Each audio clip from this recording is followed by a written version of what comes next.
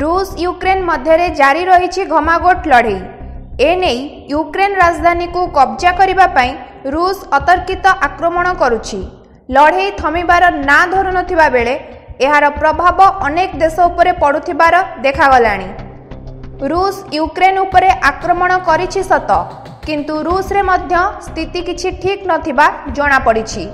କାରଣ ରୁଷରେ ଏବେ ଅନେକ ବିଦେଶୀ କଳକାରଖାନା ବନ୍ଦ ହୋଇଯାଇଛି। ସେହିଭଳି ବିଭିନ୍ନ ବିଦେଶୀ କମ୍ପାନୀ ରୁଷରେ ଥିବା ନିଜର କାରଖାନା ସବୁ ବନ୍ଦ କରିବାକୁ ଘୋଷଣା କରିଛନ୍ତି। ଯଦି ଆଗକୁ ଏଭଳି ସ୍ଥିତି ଜାରି ରହେ ତେବେ ରୁଷରେ ବେକାରୀ ସଂଖ୍ୟା ବଢ଼ିଯିବ ଏବଂ ଦେଶର ଅର୍ଥ ବ୍ୟବସ୍ଥା ଭୁଷୁଡ଼ି ପଡ଼ିବାର ଆଶଙ୍କା ଅଛି।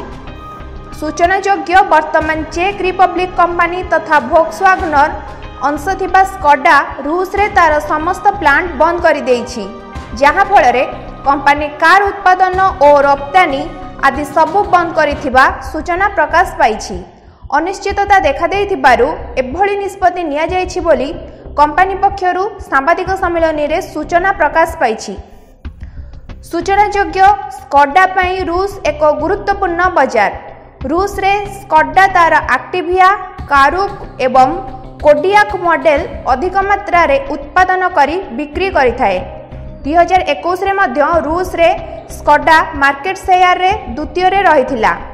ସେହି ବର୍ଷ କମ୍ପାନୀର ନବେ ହଜାର ଚାରିଶହ ଗାଡ଼ି ବିକ୍ରି ହୋଇଥିଲା। ତେବେ ବର୍ତ୍ତମାନର ପରିସ୍ଥିତି ମଧ୍ୟରେ ଏବେ ଏହି କମ୍ପାନୀ ରୁଷରେ ଥିବା ନିଜର ପ୍ଲାଣ୍ଟ ବନ୍ଦ କରିଦେଇଛି। କେବଳ ସ୍କଡା ନୁହେଁ ଏହା ପୂର୍ବରୁ ଅନେକ କାର୍ ନିର୍ମାତା କମ୍ପାନୀ ଯଥା ଭଲ୍ଡୋ ଜେନେରାଲ ମୋଟର୍ସ ଭୋକ୍ସୱାଗନ ଏବଂ ମୋଟରସାଇକେଲ କମ୍ପାନୀ ହାର୍ଲେ ଡାଭିଡସନ୍ ରୁଷକୁ ରପ୍ତାନି ଓ ଉତ୍ପାଦନ ଉପରେ କଟକଣା ଲଗାଇଛନ୍ତି। ଅନ୍ୟପଟେ ଗତ ଫେବୃଆରୀ ଚବିଶ ତାରିଖରେ British company Jaguar Land Rover ମଧ୍ୟ ରୁଷର ଡିଲରମାନଙ୍କୁ କାର୍ ସପ୍ଲାଏ କରିବା ଉପରେ ରହିତାଦେଶ ଜାରି କରିଥିଲା। ସେହିପରି ଜାପାନ ଅଟୋମୋବାଇଲ କମ୍ପାନୀ ଟୟାଟୋ ମଧ୍ୟ ରୁଷରେ ନିଜର କାରବାର ବନ୍ଦ କରିଦେଇଛି।